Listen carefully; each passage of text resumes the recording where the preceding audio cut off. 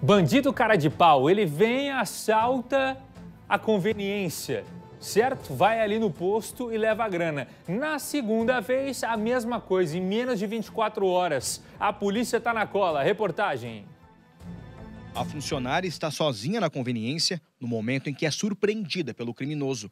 Ele entra com uma camisa enrolada na cabeça para que o rosto não seja filmado.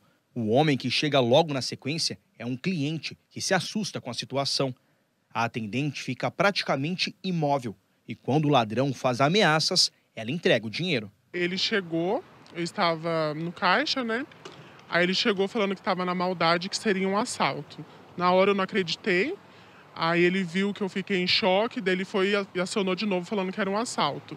Mesmo assim, eu continuei olhando para a cara dele sem reação. Na segunda vez que eu vi que ele ia entrar mesmo, eu peguei e passei o dinheiro para ele. Ele fugiu rápido daí. Menos de 24 horas depois, outro roubo.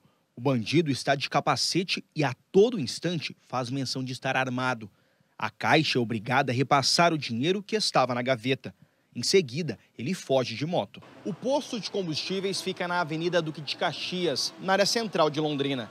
E para a Polícia Civil, não restam dúvidas: o mesmo homem está por trás dos dois crimes. E tem um detalhe importante que pode ajudar na identificação do bandido. Repare que ele tem duas grandes tatuagens nos braços. Além disso, o ladrão é branco e, segundo as vítimas, tem o um olho azul. Enquanto o homem não for preso, a sensação é de medo. Nós esperamos que ele que a polícia pegue ele mesmo, porque a gente fica com medo, né? A gente vem trabalhar inseguro. 18 e 32 e a polícia segue na cola, então, para tentar encontrar o criminoso.